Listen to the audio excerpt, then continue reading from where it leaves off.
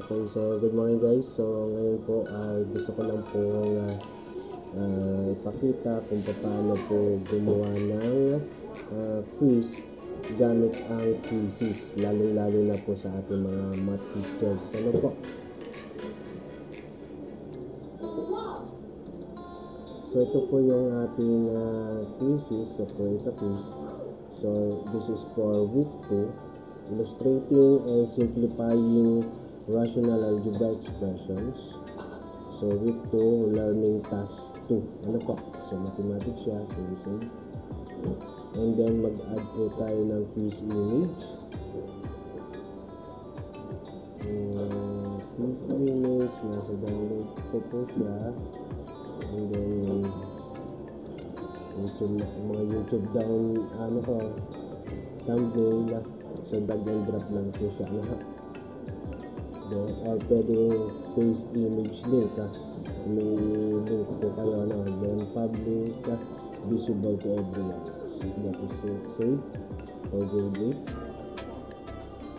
ano po and then uh, dito po may mga pagpipiliin po tayo multiple choice checkbox fill in the blank full open-ended or slide pag ito po yung sa lesson ano po so since quiz po siya so gamitin po natin yung multiple choice okay.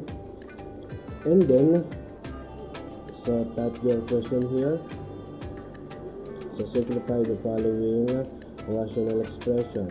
And then since siya po match uh, ang ating pong unang tanong ay AB square over AB simplify po so A B square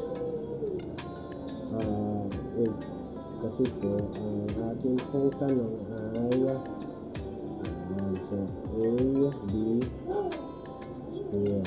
Ano, over AB so yan. Then insert first option. So tayo na pong bahala kung ano pong gusto natin na sagot. Ano, pwedeng AB pwedeng B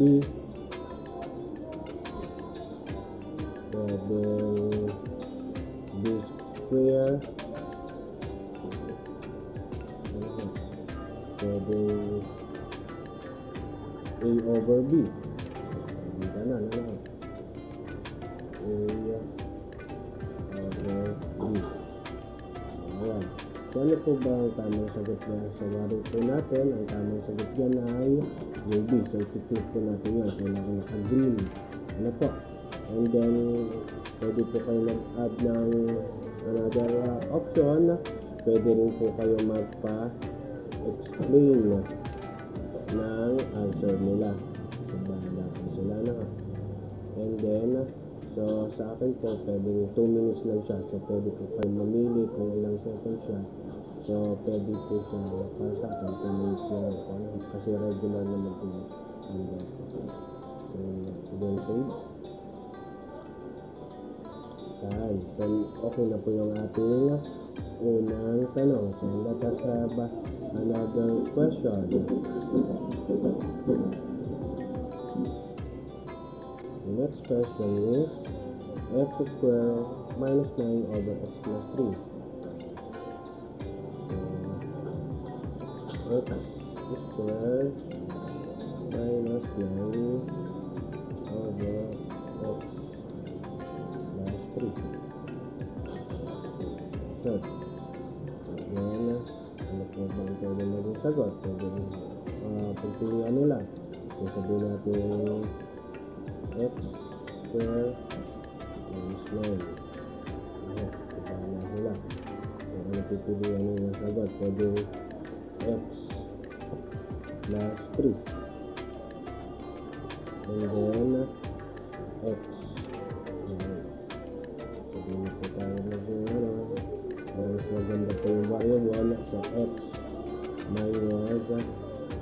3 or simple ano po bago maging ano pagpilihan so lang lahat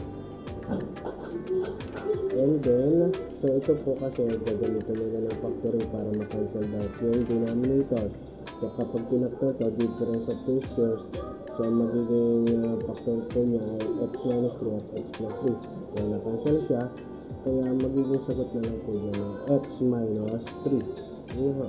And then, gawin po ulit natin 2 minutes sa sunod. Okay, so meron na po tayong dalawang sagot. So, napakadali lang po ng ating uh, uh, paggawa ng thesis. So, ganun lang po siya. Ano pa? So, once again, sana po nakatulong itong ating quiz, uh, thesis, uh, para, para ikaw nga ito maging interactive sa ating mga bata. Mas may engage natin yung learnings ng ating mga bata. Okay? So, thank you po.